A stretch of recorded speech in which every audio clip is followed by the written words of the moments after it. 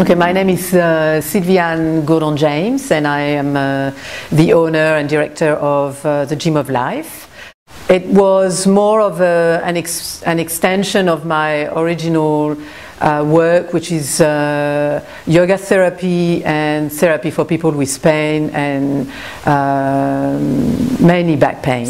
But I needed to expand that business because of my own injuries that I needed to uh, sort out and in that process I found a method to apply directly to people with uh, chronic pain. I didn't really know where to turn to but I contacted um, the um, Australian Business Financing Centre that I found on the internet as soon as I contacted them, everything became easy. They were really helpful.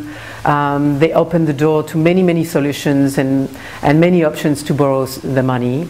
I ended up borrowing $20,000 uh, very easily. The criteria were um, easy to meet, and one of them was not to have borrowed any money anywhere else, but which was uh, straightforward. And the other one was to um, go to BEC.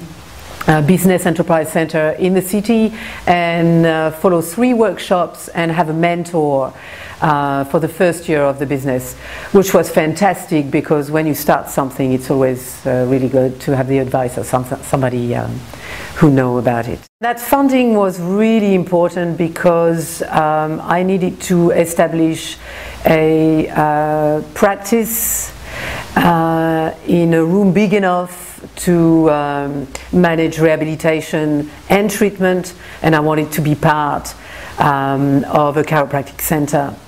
Uh, and in order to do that, I need to um, re-establish this room. I needed to buy equipment. Um, um, so all of these uh, needed money. For all the people out there who wants to uh, start up their own business, um, I can't recommend them enough.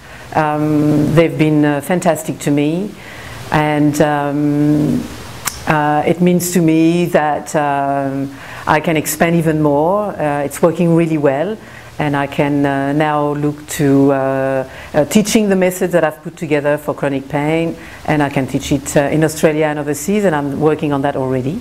Um, so yeah, um, this is uh, one of the best source of information you will find on the net. Um, I recommend it highly.